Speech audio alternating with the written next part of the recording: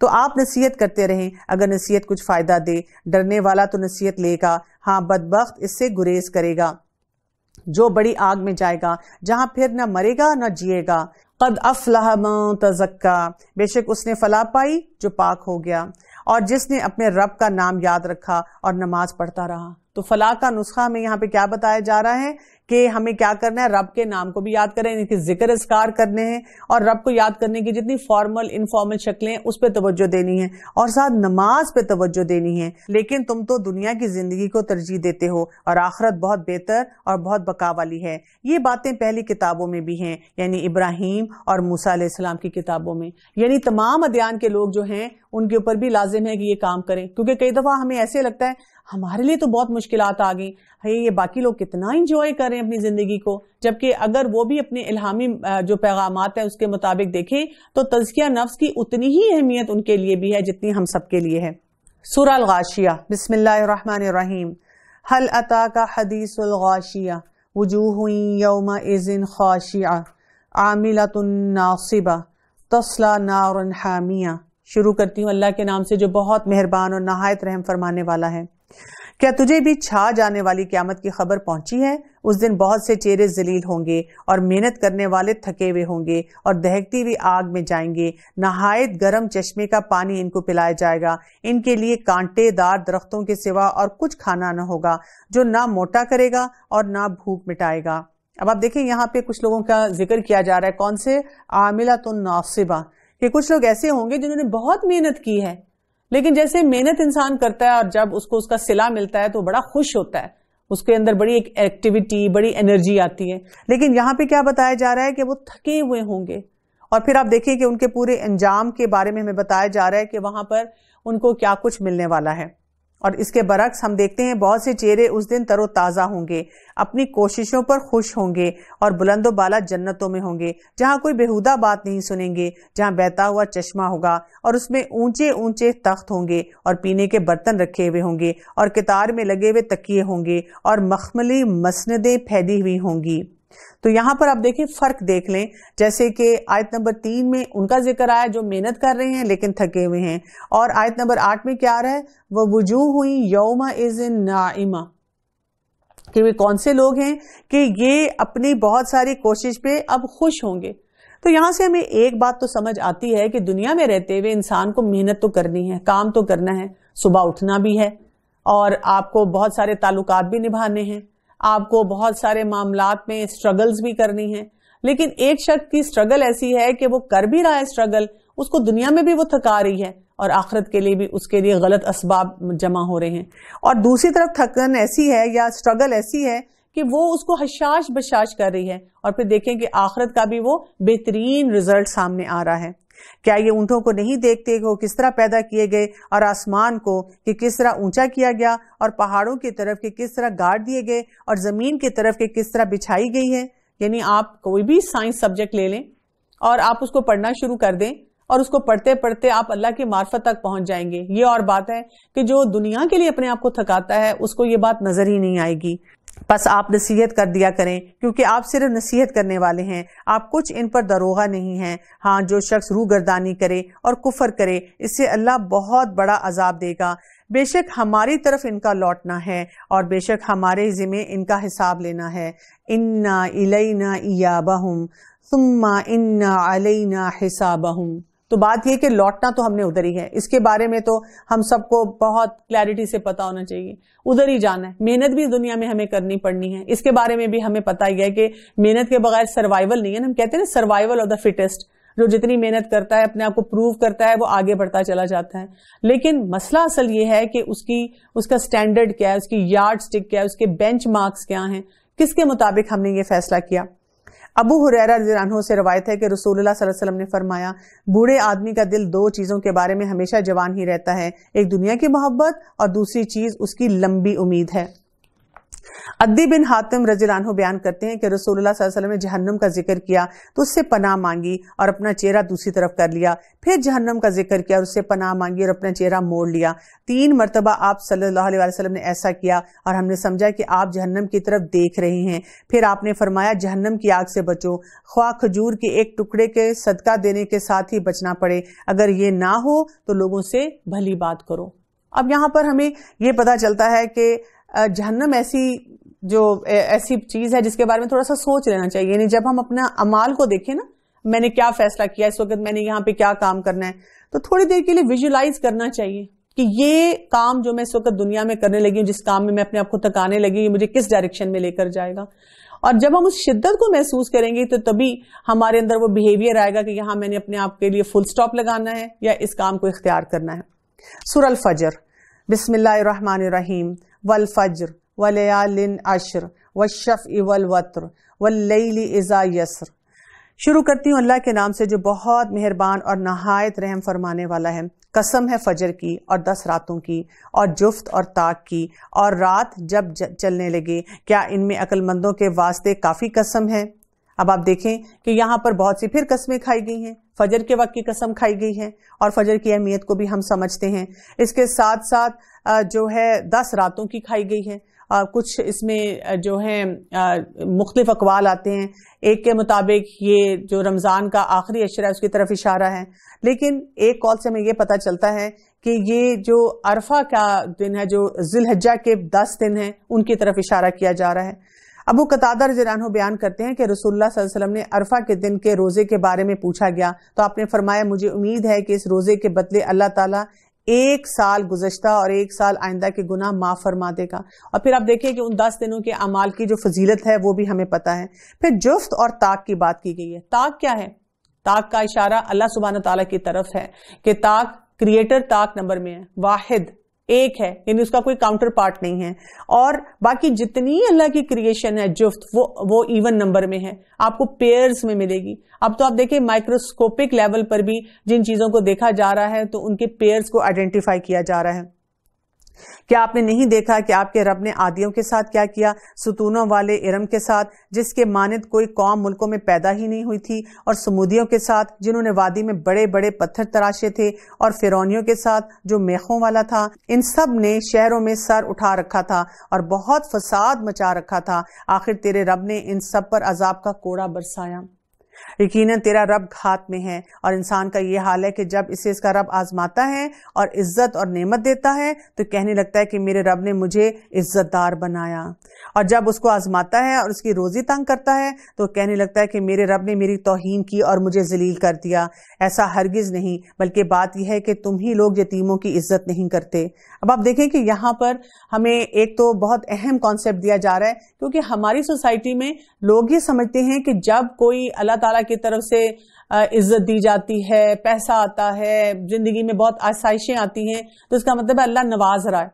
और जब कोई तंगी होती है तो इसका मतलब है आजमाइश आ गई है। जबकि यहाँ पर दोनों चीज़ों के लिए क्या कहा गया है? रब की आजमाइश। कभी अल्लाह ताला इज़्ज़त दे के आजमाता है, और कभी अल्लाह ताला जो है जलील करके आजमाता है। दोनों सिचुएशन में हमें देखना ये होगा कि हमने उस सारे मामले को कैसे लेकर चलना है। क्योंकि ये जो इज़्ज़त है ना जो काफिर है, वो कैसे समझता है? काफिर के नज़दीक इज़्ज़त का मैार क्या होता है कि उसको पैसा मिल जाए, उसको पॉपुलैरिटी मिल जाए, उसको तवज्जो मिल जाए, उसको कोई भी दुनिया की चीज़ मिल जाए। लेकिन जो मोमिन होता है, उसके नज़दीक क्या वैल्यू रखती है किसी भी मामले में, जो भी उसकी ज़िंदगी में आता है कि तकवा उसका कितना है दीन की दुरुस्तगी कितनी है, सुन्नत के मुताबिक वो कितने मामला को लेकर चल रहा है, और अपनी आखरत के बारे में उसका जो है क्या कॉन्सेप्ट है, कितना वो आखरत के बारे में जो है यकीन भी रखता है और उसके बारे में सोचता भी है। और इन लोगों के लिए क्या कहा गया कि तुम लोग यतीमों की इज़्ज़त नहीं करते। कल्ला बल्ला तो कुरिमून अल यतीम। यतीम की इज़्ज़त करना, यानी यतीम के साथ आपका रवैया क्या होना चाहिए और यतीम के साथ आपके मामला किस तरह से होंगे। और फिर क्या है? और मुस्किनों को खाने की एक दूसरे को तरगीब नहीं देते। अब देखिए, तरगीब देना, एक दूसरे को मोटिवेट करना भी एक बहुत बड़ा रोल होता है। क्योंकि सोसाइटी में जब कोई अच्छा काम कर रहा है और हम उसको जरा सा शक दे दें या उससे ऐसी बात कह दें कि ये आप क्या कर रहे हैं तो वो इंसान भी जो काम करते करते बैठना शुरू हो जाता है। और हमारा ही कोई एक जुमला होता है जो लोगों को खड़ा कर देता है कि हाँ वाकई हमें लोगों की मदद के लिए उठना चाहिए। और मुर्दों की मिराज समेट समेट कर खाते हो और माल को जी भर कर अज़ीज़ रखते हो। यकीनन जब ज़मीन कूट कूट कर बराबर कर दी जाएगी और तेरा रब खुद आ जाएगा और फरिश्ते सफ़े बाँध कर खड़े होंगे और जिस दिन जहन्नम भी लाई जाएगी, उस दिन इंसान को समझ आएगी, मगर आज इसके समझने का क्या फ़ायदा? और वो कहेगा, काश मैंने अपनी ज़िंदगी के लिए कुछ पेशगी सामान किया होता। वो कहेगा, यकूलू या लईतनी कदम तुली हयाती। कि मैं काश अपनी ज़िंदगी के लिए आगे कुछ भेजता अभी आप देखें, हमें ये कॉन्सेप्ट वैसे दुनिया के लिए तो समझ आता है। हम रोज इसकी प्लानिंग कर रहे होते हैं ना। यानी किराए के घर में रह रहे हैं तो सारा दिन सोचते हैं, मेरा घर कब बनेगा, मेरा घर कब बनेगा। बच्चा छोटा सा है तो हम आगे की प्लानिंग करते हैं, इसको कहाँ पढ़ाना है, कहाँ लेके जाना है, किस यूनिवर्सिटी में इसने पढ़ना है। कारोबारी लोग हैं तो समझते हैं कि हमने अपने कारोबार को कहाँ कहाँ फैलाना है। हर मामले में हम प्लानिंग कर रहे होते हैं, लेकिन जो असल ज़िंदगी की प्लानिंग है वो नहीं होती। और बस आज अल्लाह के अजाब जैसा अजाब किसी को ना होगा, ना उसकी कैदो बंद जैसी किसी की कैदो बंद होगी। और ए नफ्स मुतमइन्ना, क्या बात यहाँ की जा रही है? आयत नंबर ट्वेंटी सेवन से देखिए। या अयतुहन नफ्सुल मुतमइन्ना इरजी इला रब्बी की रादियत मर्दिया, फदखुली फ़ी इबादी, वदखुली जन्नती। कि ए नफ्स मुतमैना तू अपने रब की तरफ़ लौट चल। इस तरह कि तू इससे राज़ी, अब तुझसे खुश। बस मेरे ख़ास बंदों में शामिल हो जा और मेरी जन्नत में चली जा। तो असल काम क्या है? हमारे लिए टारगेट यहाँ पे क्या दिया जा रहा है? कि हमने नफ्स मुतमैना की तरफ़ जाना है। यानी दुनिया में मेहनत करनी भी पड़े, कोई काम करना भी पड़े, और कोई रुकावटें भी आए तो अगर हम अपने लिए एक स्टैंडर्ड सही जो है मुतन कर लें कि मुझे अल्लाह के हुक्म के मुताबिक ज़िंदगी गुजारनी है। इमाम हम्बल रहमत के बारे में आता है कि एक दफ़ा जो खलीफा वक्त था, उनके वो इताब का शिकार हो गए और उसकी वजह से उनको जेल में बंद कर दिया गया। और जेल में भी उनको इतना टॉर्चर दिया गया कि जो लिखने वाले हैं वो लिखते हैं कि अगर हाथी पर इस तरह का जो है टॉर्चर किया जाता तो वो भी शायद तकलीफ़ से बिलबिला उठता। मगर इमाम हम्बल रहमत ने का, कमाल सबर इस्तकामत के साथ तमाम बातें जो थी वो बर्दाश्त की। फिर क्या हुआ कि खलीफा बदल गया। और जब दूसरा खलीफा आया तो बहुत कदरदान था। उन्होंने इमाम हम्बल रहमत को निकाला और अशरफियों का नजराना उनके सामने पेश किया।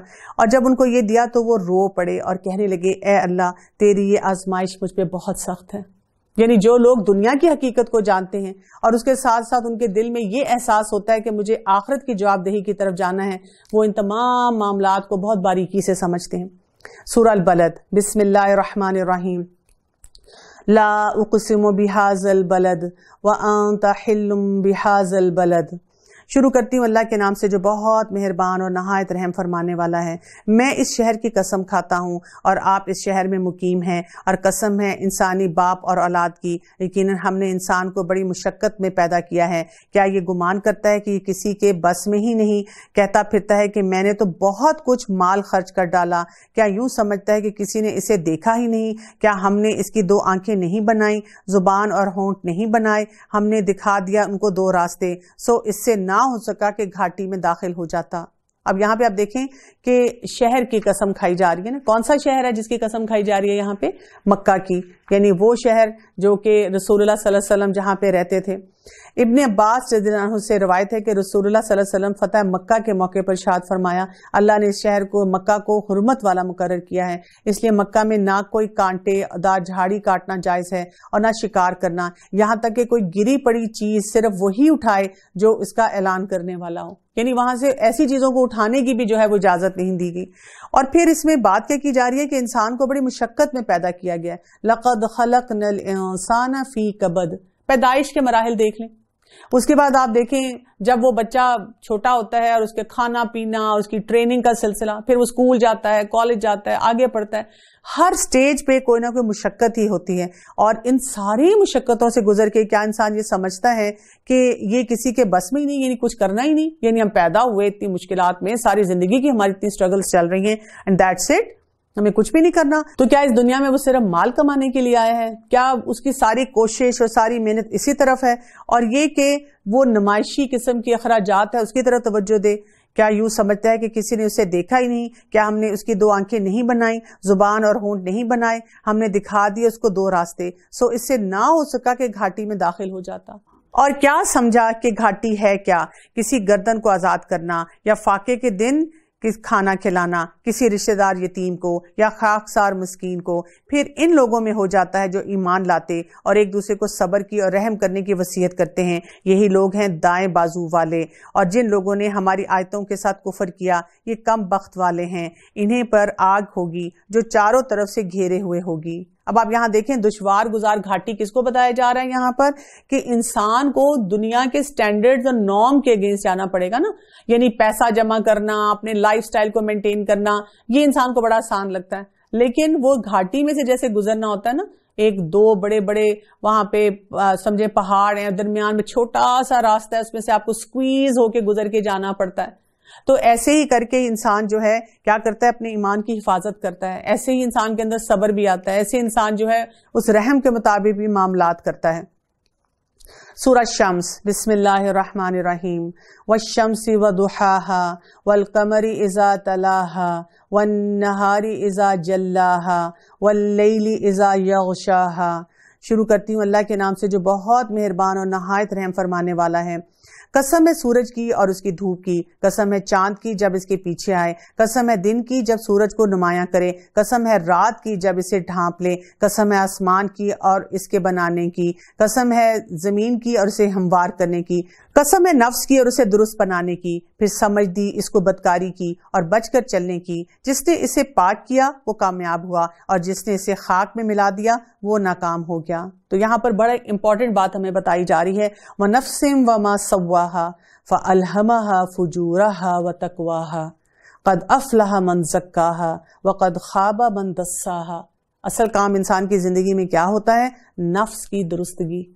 जब तक इंसान अपने नफ्स के ऊपर काम नहीं करता तो वो क्या करता है? ना उसको ये पता चलता है कि फजूर क्या है और तकवा क्या है। यानी इन दोनों स्टैंडर्ड्स में ही वो बहुत सारे मसाइल का शिकार होना शुरू हो जाता है। असल बात ये होती है कि इंसान को अपनी ज़िंदगी में एक बैलेंस लाना होता है ना। अपने नफ्स के मामला में बहुत सारा बैलेंस चाहिए होता है। मसलन, इंसान की ख्वाहिशात हैं वो किस तरफ़ जा रही है, उनके ऊपर चेक रखना होता है। इंसान के जज्बात होते हैं, उनके ऊपर भी चेक लगाना होता है, बंद बांधने होते हैं। फिर इंसान को हर वक्त ये देखते रहना होता है कि जो भी मैं मामला कर रहा हूँ, इसमें सही क्या है और गलत क्या है? और उसका फिर स्टैंडर्ड भी हमारे पास क्या है, किसी को चीज़ को सही कहने का, गलत कहने का। फिर हमें हर वक्त चॉइसेस करनी होती है ज़िंदगी में। वहाँ पर भी इंसान को अपने पर बड़ा हाई अलर्ट पर बैठना होता है। नहीं तो आप देखें, कई दफ़ा हम ऐसी चीज़ का फैसला कर लेते हैं जो हमें हराम के रास्ते खोल देता है। और इसी तरह इंसान को अपने टैलेंट्स को, अपने स्किल्स को, हर चीज़ को देखते रहना होता है। इसीलिए कहा गया कि जिसने समझदारी से उस वक्त काम ले लिया, अपने नफ्स की दुरुस्तगी कर ली तो वो क्या हो जाएगा कि वो कामयाब हो गया। कौम समूद ने अपनी सरकशी के बायस छुटलाया, जब इनमें से एक बदबख्त खड़ा हुआ। इन्हें अल्लाह के रसूल ने फरमा दिया था कि अल्लाह ताला की ऊँटनी और इसके पीने की बारी की हिफाजत करो। और इन लोगों ने अपने पैगंबर को झूठा समझ कर इस ऊँटनी की कोंचे काट डाली। बस इनके रब ने इनके गुनाहों के बायस इन पर हलाकत डाल दी, फिर हलाकत को आम कर दिया और इस बस्ती को बराबर कर दिया। ये भी नफ्स की ख्वाहिश थी ना उनकी कि उनका दिल चाह रहा था कि वो ये काम करे। और उनको लगा कि इससे कोई फ़र्क नहीं पड़ता what difference does it make और उन्होंने ये मामला कर दिया, वो नहीं डरता कि इसके तबाकुन अंजाम से, वला या खाफ ओकबाहा क्योंकि जो इंसान नफ्स की लज्जतों के पीछे चला जाता है ना, उसको वाकई नहीं नज़र आता कि जो वो मामला कर रहा है, वो किस तरफ़ लेके जा रहा है। सुरल बिस्मिल्लाहिर्रहमानिर्रहीम। वल्लैल इज़ा यगशा वन्नहारी इज़ा तजल्ला, वमा खलक ज़करा वल उन्सा। इन्ना सायकुम लशत्ता। शुरू करती हूँ। अल्लाह के नाम से जो बहुत मेहरबान और नहायत रहम फरमाने वाला है। कसम है रात की जब वो छा जाए और कसम है दिन की जब रोशनी हो और कसम है इस ज़ात की जिसने नर मादा को पैदा किया। यकीनन तुम्हारी कोशिश मुख्तलिफ़ किस्म की है। अब कैसी कैसी मुख्तलिफ़ कोशिशें हैं? मर्दों की और तरह की कोशिशें हैं खातन की और तरह की हैं और दोनों एक दूसरे को समझाते रहते हैं कि आपको क्यों नहीं समझ आती कि मेरी ज़िंदगी में क्या क्या मसले मसाइल हैं। इसी तरह आप देखें हर घर में भी डिफरेंट किस्म की डायनेमिक्स चल रहे होते हैं, उसके मुताबिक कोशिशें होती हैं। फिर आप देखें कि जो लोग अल्लाह की खातिर कोई काम करते हैं और जो लोगों की खातिर करते हैं, उनकी कोशिशें भी फ़र्क होती हैं। अच्छा हर इंसान की एनर्जी लेवल भी डिफरेंट होता है, तकवा का लेवल भी डिफरेंट होता है, उसके मुताबिक इंसान जो होता है, वो बहुत सी कोशिशें कर रहा होता है। इवन आप देखें कि किसी आप सेशन में बैठते हैं, कहीं आप कोई लर्निंग में बैठते हैं, कहीं ट्रेनिंग आप लेते हैं, उसमें भी आप देखेंगे कि लोगों की कोशिशें जो होती हैं, वो फ़र्क नेचर की होती हैं। कुछ लोग ऐसी ऐसी बातें सीख कर वहाँ से निकलते हैं। और कुछ लोग क्या होते हैं कि कुछ का कुछ कर रहे होते हैं। तो ये कोशिश जो है, ये इंसान के लिए बहुत ज़्यादा ज़रूरी होती है कि इंसान सही डायरेक्शन में लेके चले। अबू हुरैरा जिलानहो से रवायत है कि रसूलुल्लाह सल्लल्लाहु अलैहि वसल्लम ने फरमाया, अगर मेरी उम्मत के मुशक्क़त में मुबतला हो जाने का खौफ मुझे ना होता तो मैंने ज़रूर हुक्म देता कि वो हर नमाज़ के साथ मसवाक कर लिया करें। तो दीन के मामले में भी आप देखें कि कई कोशिशें जो हमें दी जाती हैं, वो भी बड़ी ज़रूरी होती हैं। जिसने दिया अल्लाह की राह में और डरा अपने रब से और नेक बात की तस्दीक करता रहा तो हम भी उसके रास्ते, आसान रास्ते की सहूलत दे देंगे। लेकिन जिसने बखीली की और बेपरवाही बरती और नेक बात को झुटलाया तो हम भी उसकी तंगी और मुश्किल के सामान मैसर कर देंगे। अब यहाँ पे फिर हमें एक और इम्पोर्टेंट बात पता चल रही है। क्या किया किसी ने? फ़म्मा मन आता व कि उसने दिया और तकवा की बुनियाद पे दिया। और उसने क्या किया? साथ ही कि जो बात की, वो नेक की। सही बात की तरफ़ हो गया तो अल्लाह ताला उसके लिए आसानियाँ पैदा फरमाएगा। ये तो बड़ा ही इंपॉर्टेंट फॉर्मूला है जिसको हम याद रख लें। आप देखें, वैसे भी अगर हम किसी के साथ ज्यादती करते हैं, झूठ बोलते हैं, और जितने गलत ट्रेड्स हैं अपने अंदर लेकर आते हैं तो दुनिया में भी कितनी कॉम्प्लिकेशन हमारी ज़िंदगी में होती हैं। और आप इमेजिन करें, थोड़ी देर के लिए एक सच्चा इंसान है, किसी के बारे में झूठ नहीं बोलता, झूठा काम नहीं करता गुस्से को अपने मैनेज करता है और टाइम की पाबंदी करता है। बाकी तमाम अच्छी क्वालिटीज में उसमें हैं। तो दुनिया के हिसाब से भी आप देखें कि उसकी मुश्किल कम से कम होनी शुरू हो जाती हैं। लेकिन अल्लाह ताला की तरफ़ से उसके लिए बहुत सी सहूलतें जो है वो होती हैं। इसका माल उसे ऊंधा गिराने के वक्त कुछ काम ना आएगा। बेशक राह दिखा देना हमारे जिम्मे है और हमारे ही हाथ आखरत और दुनिया है। और मैंने तुम्हें शोला मारती हुई आग से डरा दिया है, जिसमें सिर्फ़ वही बदबक दाखिल होगा, जिसने झुटलाया और उसकी पैरवी से मुँह फेर लिया। और इससे ऐसा शख्स दूर रखा जाएगा जो बड़ा परहेजगार होगा, जो पाकि हासिल करने के लिए अपना माल देता रहेगा। किसी का इस पर कोई एहसान नहीं कि जिसका बदला दिया जा रहा है, बल्कि सिर्फ़ अपने परवरदिगार बुज़ुर्ग बुलंद की रजा चाहने के लिए। यकीन वो अल्लाह भी अनकरीब रजामंद हो जाएगा। वला सऊफ़ा तो अल्लाह की रजा के लिए वो क्या कुछ कर रहा है? तमाम अपने मामलात को लेकर चल रहा है। और वही बात है कि इतनी मुश्किलात में ऑपोजिट मुश्किलात में भी वो क्या कर रहा है? अपने रास्ता निकाल रहा है। सूरत दुहा, बिस्मिल्लाहिर्रहमानिर्रहीम। वद्दुहा वल्लैली इज़ा सजा, मा वद्दा का रब्बू का व मा कला। शुरू करती हूँ अल्लाह के नाम से जो बहुत मेहरबान और नहायत रहम फरमाने वाला है। कसम है चाश के वक्त की और कसम है रात की जब छा जाए। ना तो तेरे रब ने तुझे छोड़ा है और ना ही वो बेजार हो गया है। यकीनन तेरे लिए अंजाम आगाज़ से बेहतर होगा। जुंदुब बिन सुफियान रजीलान बयान करते हैं कि एक मरतबा वसल्लम की तबीयत नासाज थी और आप दो तीन रात तहजद के लिए भी ना उठ सके। तो एक औरत जो कि अबू लहब की बीवी थी आपके पास आयत कहने लगी मोहम्मद सल्लल्लाहु अलैहि वसल्लम मैं समझती हूँ कि तेरे शैतान ने तुझे छोड़ दिया है। चुनाचे इस मौके पर अल्लाह ताला ने सूरत दुहा की ये आयात जो थी ये नाजिल फरमाई। और ये देखिए ये हम में से हर शख्स को सहारा देती है जिनके कभी भी हमें ऐसा महसूस हो रहा हो कि आ, मेरी कोई वैल्यू नहीं है मेरे साथ कोई नहीं है मैं दीन के मामले में तनहा हूँ मैं बहुत लोनलीनेस महसूस कर रहा हूँ। तो जब हम ये सूरतें पढ़ते हैं तो हमें फिर यही चीज़ महसूस करनी चाहिए कि अल्लाह, जब हम अल्लाह के रास्ते पे चलते हैं ना तो अल्लाह अकेला तनहा नहीं छोड़ता। यकीनन तेरे लिए अंजाम आगाज़ से बेहतर होगा। तुझे तेरा रब बहुत जल्द अनाम देगा और तू राज़ी और खुश हो जाएगा। क्या इसने यतीम पाकर जगह नहीं दी? क्या और तुझे राब भूला पाकर हदायत नहीं दी? और तुझे नादार पाकर तवंगर नहीं बना दिया? बस यतीम पर भी तू सख्ती ना किया कर और ना सवाल करने वाले को डांट डपट कर। वो अम्मा बी नमती रब्बी का फ़हदस और अपने रब की नियमतों को बयान करता रहे। यहाँ पे हमें क्या सीखने की ज़रूरत है कि जब हम भी किसी मामले में परेशान हों, जैसे रसूलुल्लाह वसल्लम को कहा जा रहा है कि बचपन से जवानी तक जो भी आपकी ज़िंदगी में मुश्किलात थी, आप देखें कहाँ कहाँ अल्लाह की मदद आपके लिए आई। और इसी तरह अगर हम अपना भी ग्राफ बनाए ना, जो ज़िंदगी में मुश्किल हों, क्योंकि कुछ लोगों को आदत ये होती है कि वो अपने मसाइल का बहुत तस्करा करते हैं। मेरी ज़िंदगी में ये मसला, मेरी ये ट्रेजिडी, मेरी ये मुश्किल आई। लेकिन अगर हम ये देखें कि हमने उससे क्या कुछ सीखा, हमें कितने फ़ायदे हुए तो नेमत का इजहार और उसका बयान करना ज़रूरी है। और उससे क्या होता है? इंसान को स्ट्रेंथ भी मिलती है, कुवत भी मिलती है। तो अपनी ज़िंदगी में ग्रेटिट्यूड रखना, शुक्रगुजारी का जज्बा रखना, अपनी सेल्फ टॉक को बेहतर बनाना और जो एक विजडम अपने अंदर लेकर आना हिकमत अपने अंदर लेकर आना कि जब मुश्किलात आ रही हैं तो तब मुझे क्या कुछ करने की ज़रूरत है। क्योंकि हम में से हर शख्स को फैमिली का साथ भी चाहिए होता है, रहनुमाई भी चाहिए होती है, जरूरियात भी होती हैं। और जब इनमें से किसी में भी कमी आती है या मुश्किल आती हैं तो फिर ज़ाहिर है हम भी घबरा जाते हैं। तो ऐसे तमाम मौके पे अपने रब की नियमतों का इजहार और बयान ज़्यादा ज़रूरी है। सूरा अलम नशरा, बिस्मिल्लाहिर्रहमानिर्रहीम। अलम नशरह लक सदरक। अंका विजरक हम देखते हैं कि सूरह दुहा और सूरह अलम नशरा जो है, इसमें अल्लाह सुबहान तला ने रसूलुल्लाह सल्लल्लाहु अलैहि वसल्लम को जो भी नेमतें दी हैं, जो टेंजिबल हैं, यानी कि जो सामने हमारे हैं और जो इनटेंजिबल हैं, जो लाइफ इवेंट से रिलेटेड हैं, उन सब का तस्करा कर दिया है। तो इसमें आता है, शुरू करती हूँ अल्लाह के नाम से, जो बहुत मेहरबान और नहायत रहम फरमाने वाला है, क्या हमने तेरा सीना नहीं खोल दिया और तुझ पर से तेरा बोझ हमने नहीं उतार दिया? जिसने तेरी पीठ को तोड़ रखा था और हमने तेरा ज़िक्र बुलंद कर दिया। बहुत अहम पैगाम इसमें दिए जा रहे हैं। यहाँ रहा अलम नशराह। इसमें क्या होता है? वो ऐसे गोश्त के लिए लफ्ज आता है जिसको वैसे इस्तेमाल करना मुश्किल होता है, लेकिन अगर उसको चॉप करके छोटे छोटे पीसेस कर दिए जाएँ तो आसानी से उसको इस्तेमाल कर दिया जाता है। तो यानी कि वसत हो जाए सीने में, इंसान के लिए आसानी हो जाए बहुत से मामला में, इंसान का दिल खुल जाए। तो दिल खुलना जो होता है वो कैसे होता है? मसलन, आप देखें ज़िंदगी में कितने टफ मैटर्स होते हैं ना, बड़ी मुश्किल होती हैं जिसमें दिल नहीं खुलता। या ज़िंदगी में बड़ी कॉम्प्लिकेशंस होती हैं। इसके साथ आप देखें, कई जगहों पे हमें बहुत सा रेजिस्टेंस मिल रहा होता है। हमें समझ नहीं आ रही थी कि हम सही बात कर रहे हैं, लेकिन कैसे उसको आगे बढ़ाएँ?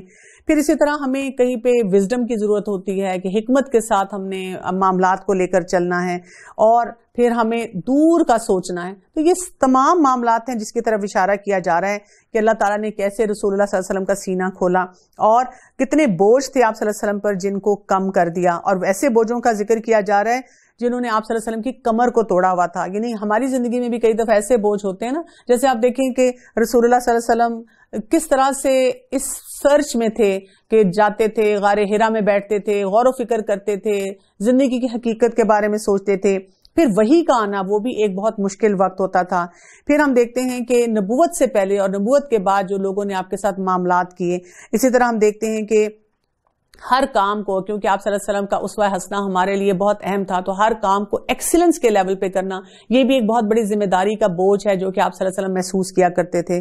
और इसीलिए कह दिया गया फ़ाइन उसरी युसरा इन्ना माल उसरी युसरा। बस यकीनन मुश्किल के साथ आसानी है। बेशक मुश्किल के साथ आसानी है। आप देखें कि जो मुश्किल है ना, उसर जो है, उसके साथ अल आ रहा है। जिसका मतलब क्या है कि ये जो है, एक मुश्किल है जो कि हमारे पास है। कोई स्पेसिफिक मुश्किल है जो हमारे पास है। लेकिन युसर जो है, वो कॉमन नाउन है। और उसमें मतलब ये है कि बहुत सी आसानियाँ आ गई हैं। तो बात यह है कि मुश्किल कोई आएगी तो उसी के साथ आसानियाँ आना शुरू हो जाएँगी। मुश्किल मांगनी नहीं चाहिए, लेकिन जब मुश्किल आ जाती है तो उस पर बहुत ज़्यादा वावेला भी नहीं करना चाहिए। और इसीलिए कहा गया इसके बाद, बस जब तू फारिग हो तो इबादत में मेहनत कर और अपने परवरदिगार ही की तरफ़ दिल लगा। तो हमें क्या करने की ज़रूरत है? ये जुमला हमारी ज़िंदगी में नहीं होना चाहिए कि मैं बोर हो रही हूँ, मुझे समझ नहीं आ रही अब क्या करूँ। फुर्सत के औकात मिल गए, अब हम क्या कर रहे हैं? अपने रब की तरफ़ और ज़्यादा रुजू करना शुरू कर देंगे।